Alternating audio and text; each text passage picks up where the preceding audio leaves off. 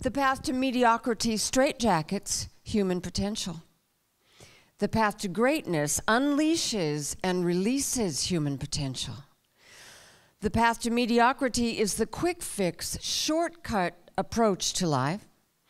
The path to greatness is a process of sequential growth from the inside out. Travelers on the lower path to mediocrity live out the cultural software of the ego indulgence, scarcity, comparison, competitiveness, and victimism.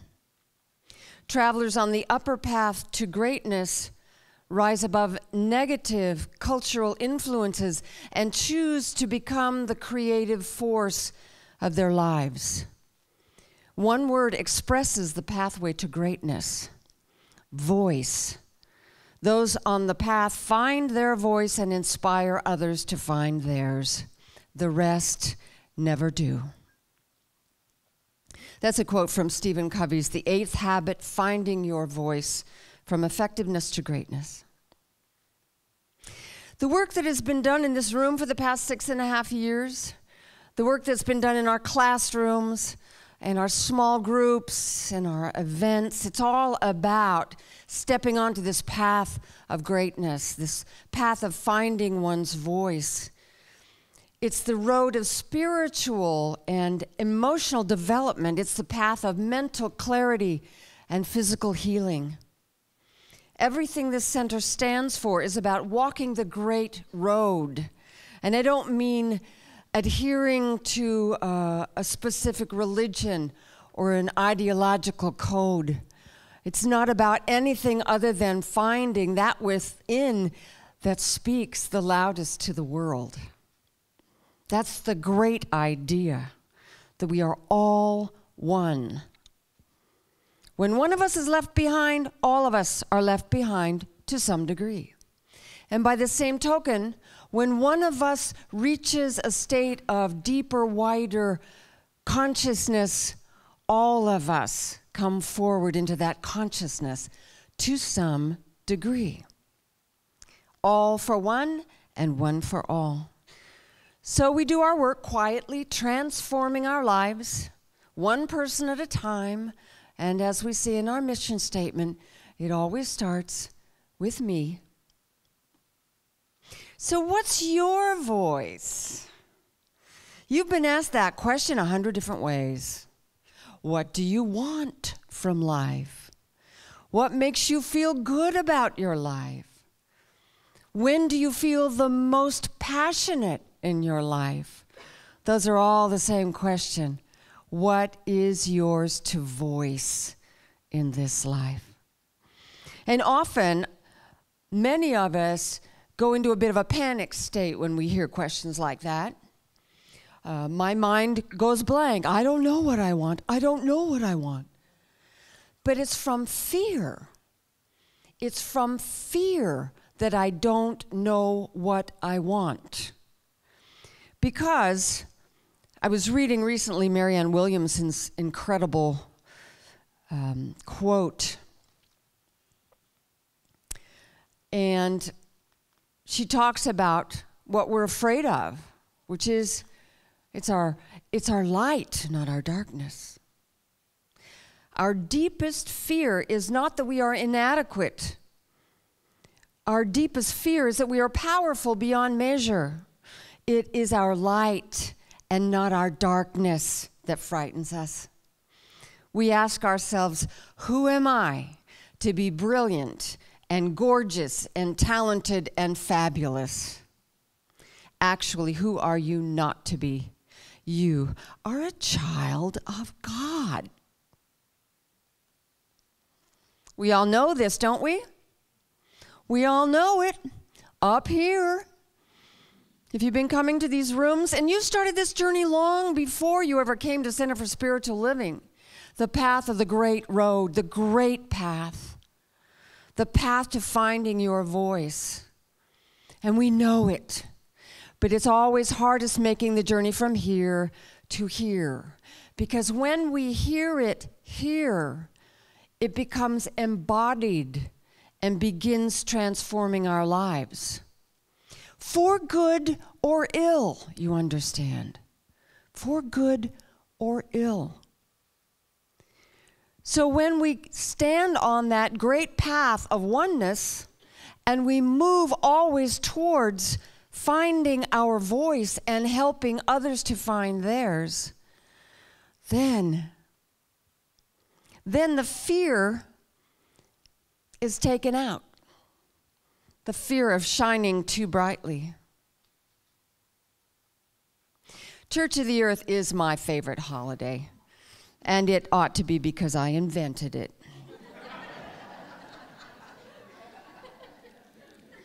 we have a lot of holidays throughout the year. You know, we celebrate great cultural events.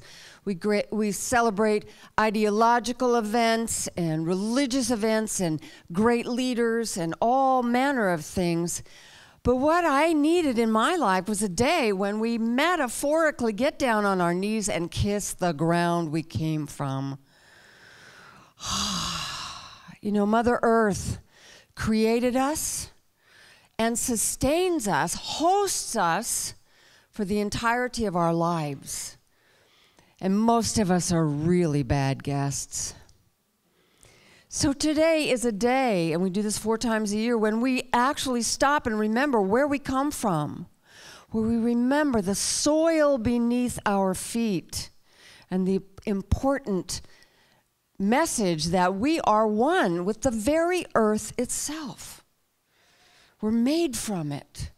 We came from it and we go back to it. It's our mother. So, to prepare myself for this message, I went to Highbanks Park to really get up close and personal with the mother.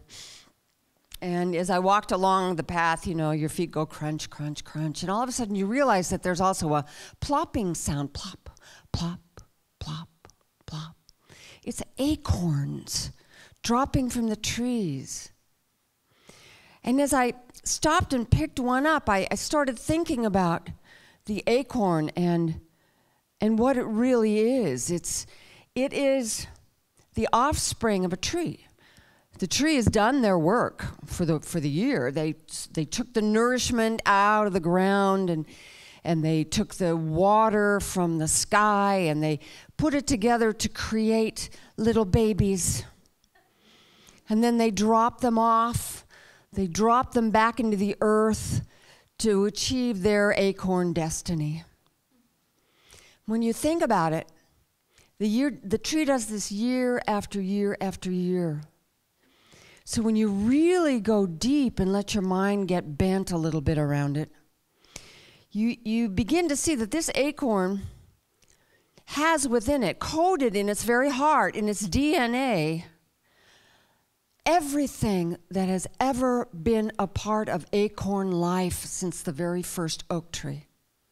It has it coded right in there. It is a container for all that has ever been in the line of oak trees.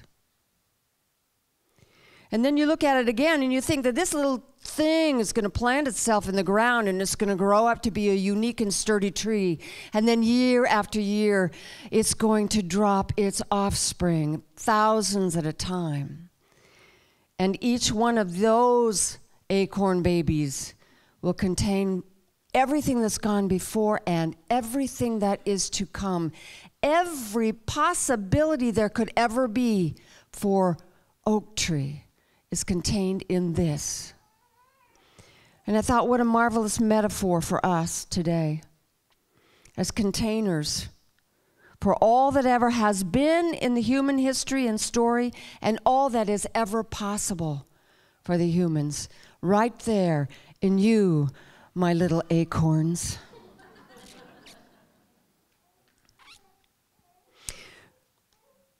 the acorn is one with the oak tree always and forever. There is no separation, there is only one. Life is like that. It, it, it brings us into the world and it plops us in the dirt and says, Here, have fun. Take all that that's ever been and all that could ever be and make something of it.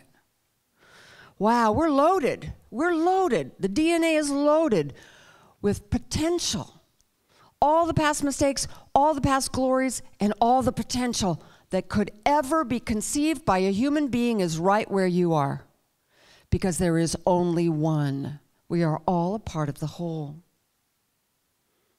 We are one with life itself, always and forever, coded in our DNA.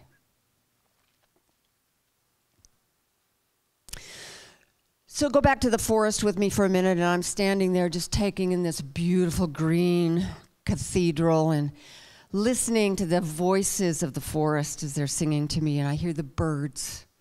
And each bird is singing its own particular song. Why? Because that's what birds do. It's authentic, it's natural, it's in their DNA to sing that song. And then pretty soon I heard the frog croaking out its silly song. Why? Because it's what frogs do. It's their authentic reality is to sing a song that is unique and particular to the frog species and to that particular frog. They do it because it's what they do, it's in their DNA.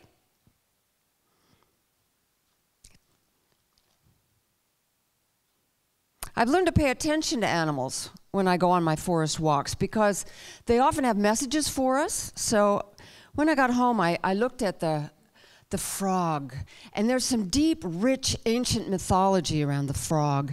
And it is that because it is an animal that comes from both the land and the sea, it carries the magic of both elements. It is able to cross the realms of magic from the water to the land. And I thought, isn't that the truth for us as well? We're like that. We are magical creatures. We have water magic and earth magic. We are human and divine. We cross the barrier between animal nature and the divine nature. What a nice metaphor. The frog crossing the barriers of magic. And you know what gives us that magic? The power we have to choose. That's what elevates us from the rest of the animal kingdom that we know of. And it is what helps us get in such a pickle that we get ourselves into is that choice. We do not behave according to our animal nature because we are also given choice. And that's wherein the potential lies. Choosing choosing from that realm of possibility that is in your acorn nature what is right for you. What's your voice? What song are you going to sing? Each of us brings the past and the present together in every moment. Each of us stands at a continual choice point, and each choice influences not only our lives, but the lives of everyone else, everywhere by what song we will give voice to. What song do you sing? What song would you like to be singing? Well, to know the answer to that, we must do three things. First, we must find out what is natural and authentic for us to do. And second, we must dream the largest dream for ourselves that we possibly can. And third, we must choose toward that dream with the intention of making it real. That's the magic of being human. We can do that. Stephen Covey tells us that to find our voice, we need to look inside at the center of each of us, where vision, passion, and discipline meet with conscience at its center. He writes Vision is seeing with the mind's eye what is possible in people, in projects, in causes, and in enterprises. Vision results when our mind joins need with possibility. Discipline is paying the price to bring that vision into reality. Discipline arises when vision joins with commitment. Passion is the fire, the desire, the strength of conviction, and the drive that sustains the discipline to achieve the vision. Passion arises when human need overlaps unique human talent. And conscience is the inward moral sense of what is right and what is wrong, the drive toward meaning and contribution. It's the guiding force to vision, discipline, and passion. The vision, when you look out upon your world, what does it need? What could it use to be a better place? The passion, ask what skills and talents do I bring to my world that can help meet that need? The discipline, what commitment must I make to myself to achieve this? And conscience, is this right for me? Is this mine to do? Does this match my spiritual goals? Do I confirm it with my choice? We're going to do a personal ritual today in honor of Church of the Earth. So, if the, the ushers would please come forward, I have some baskets for you to pass around. Now, go ahead and pass them out, and everyone take one and pass them. They are, uh, I, when I picked them up, I, I tried to make sure, I did make sure that every one of them had their pretty little caps still stuck on them. but you may find that you choose one that does not have a pretty little cap on it because what happens when acorns hit the dirt? They start to transform and their little caps don't fit anymore. And so they lose them and they become open at the top. It's the place where the nut, where the seed cracks open. So if your little acorn doesn't have a pretty little hat on, be glad because it's already well on its way to transformation. And it represents you. And I'm sorry I didn't wash them, but I was afraid they'd lose their hats, so. so as soon as everyone has one, we've got a few more rows to go then just take that acorn and let it rest in your dominant hand. So if you're right handed, put it in your right hand. If you're left handed, put it in your left hand. Does everybody have them now? Oh, we got the very last group. So you have your acorn in your dominant hand. And what do we know about the dominant hand? It's connected with the left brain, the thinking side of ourselves. So, as this acorn rests in your dominant hand, imagine that it's connected to the side of you, the part of you that is rational, that is intelligent, that is thinking, that puts two and two together. Everything you've ever learned, everything you've ever known, everything you've put together, every, every belief that you've ever had is somewhere connected to the left side of your brain. So think about it now as containing everything you've ever learned about the world. And just like the acorn, you contain all knowledge of the human race. You have the history of the human experience inside you, everything that's ever been, everything that ever can be. And because you are life's acorn, you hold all the possibility for the human race right where you are. Hmm. Because we know that all thoughts are creative, it is the left brain that begins the process of thinking things into becoming. That's our power. So just breathe into that for a moment.